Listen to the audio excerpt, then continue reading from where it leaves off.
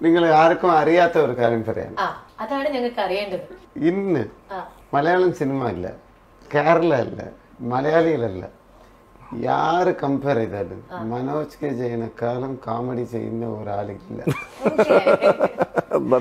ഞങ്ങളുടെ രണ്ടുപേർ എന്നറിയോ ഒരു ദിവസം റാവിസ് ഹോട്ടലിൽ മനോജ് ജയൻ ഇന്റർവ്യൂ എടുക്കുമ്പോ ചോദിക്കണേ.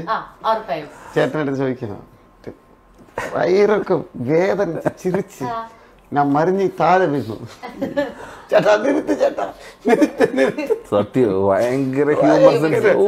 അല്ലേ അത് പുള്ളി ഹ്യൂമർ ചെയ്യുന്നത് ആർക്കും അറിയില്ല. ഓ. സിമ്പിൾ ആയിട്ട് പറയും. നമ്മളെ തകർത്ത് കളയുന്ന ഹ്യൂമറാണ് എന്താ പറയുക സത്യമാണ്? ഇപ്പൊ ഒരു ദിവസം ഇത് സത്യമാണ് ഞാൻ പറയുന്നത്. മനോജേട്ടന്റെ പുള്ളിയുടെ മേലിൽ ഒരു കോമഡിയൊന്നും ഇവിടെ ഇല്ല. സത്യം മനോജേട്ടന്റെ ഹ്യൂമർ സെൻസ് എന്ന് പറഞ്ഞാൽ ആ ഒരു പ്രസന്റിങ് രീതി ഉണ്ടല്ലോ കഥ പറയുന്നതിൽ. നമ്മളെ ചിരിച്ച് നമ്മൾ മരിച്ചിട്ട് അത് കഴിയുമ്പോഴത്തേന് പുള്ളി ഒരു നമുക്ക് ആവശ്യമുണ്ടെങ്കിൽ ഒരു പാട്ട് പാടും. പിന്നെ തമാശ ഭയങ്കര രസമാണ്. നമ്മുടെ.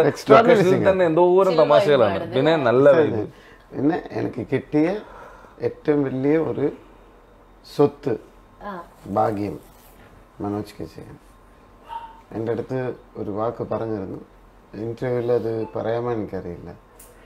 പല ജീവിതത്തിൽ ഞാൻ എന്റെ മകളെയും കൊണ്ട് ഓടിയതാണ് അത്രയും കഷ്ടപ്പെടില്ല നീ തളരരുത് ഇവര് ടാഗ് കൊടുക്കും കേട്ടോ അണ്ണാ തിരിച്ചു വരണം ബല ഞാൻ ഉണ്ട് കൊ- அந்த ഒരു വാക്ക് സിനിമ എത്ര എത്ര കാലം ഒരു നടന് കൊണ്ടാവുമെന്ന് അറിയില്ല എത്ര കാലം കാശ് ഉണ്ടാവുമെന്ന് അറിയില്ല എത്ര കാലം നമ്മുടെ വണ്ടി ഓടിക്കുന്ന കാർ ഉണ്ടാവുമെന്ന് അറിയില്ല എത്ര കാലം വീട് ഉണ്ടാവുമെന്ന് പോലും അറിയില്ല പക്ഷെ വിളിച്ച് ഭക്ഷണം കഴിച്ചോ എന്ന് ചോദിക്കാനുള്ള ഒരു മനസ്സ് എത്ര പേർക്കുണ്ട് ഇവിടെ?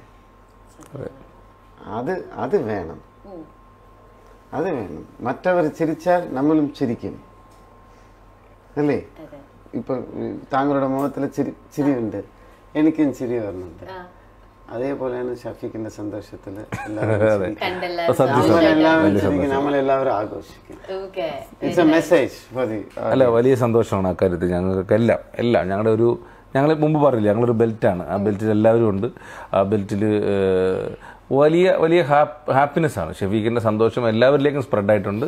നവംബർ ഇരുപത്തഞ്ച് മുതൽ കേരളക്കരയാകെ സ്പ്രെഡ് ആകും എന്നാണ് ഞങ്ങളുടെ വിശ്വാസം. ഓക്കെ അപ്പൊ ചേട്ടൻ നമ്മുടെ അടുത്തൊരു സെഗ്മെന്റ് എന്ന് പറയുന്നത് ഓർമ്മകൾ എന്ന് പറഞ്ഞിട്ടൊരു സെഗ്മെന്റ് ആണ്. അപ്പം ഈ സെഗ്മെന്റിൽ ചേട്ടന്റെ കരിയർ ലൈനിലുള്ള ചില പിക്ചേഴ്സ് ഉണ്ട്. ചേട്ടന്റെ പേഴ്സണൽ ആയിട്ടുള്ള കുറച്ച് പിക്ചേഴ്സ് ഉണ്ട്. അപ്പൊ ആ പിക്ചർ കാണുമ്പോൾ ചേട്ടന്റെ മനസ്സിൽ എന്താണ് ഓർമ്മ?